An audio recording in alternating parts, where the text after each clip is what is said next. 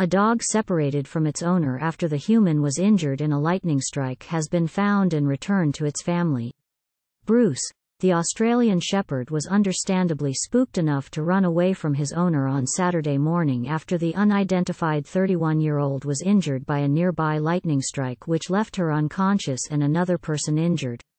According to Missing Dogs, Massachusetts and Massachusetts pet locator sites and other social media, Bruce was found and returned to his family. A spokesperson for the Massachusetts State Police told the Herald on Sunday.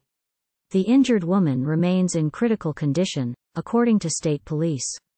The reunification of Bruce with his family comes after police responded to Malibu Beach on Saturday afternoon.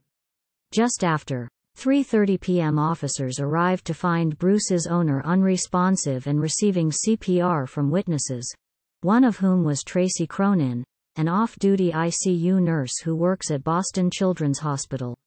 The dogwalker had apparently stopped to speak with an unidentified 49 year old woman when lightning landed close enough to them that the strike threw both of them into the air. The second victim told responding emergency crews she would see to her own medical care. The 31 year old's pants were burned by the blast, Cronin told reporters on Saturday. According to a spokesperson for the union representing the EMTs which responded to the scene, while lightning strikes are something their staff are prepared to handle, it's certainly not a routine call to receive.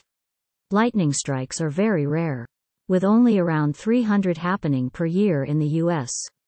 Our providers are all highly trained in cardiac arrest managers and work diligently providing CPR, a breathing tube, as well as administering several medications during the resuscitation, they said. The Facebook group, Missing Dogs of Massachusetts, reported Bruce was found very early Sunday morning.